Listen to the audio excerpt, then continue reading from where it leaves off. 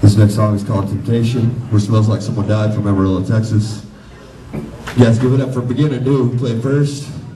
And all the way from Portales, they rock. Those those two people back there liked you. Oh, we- you guys feel free to come up front.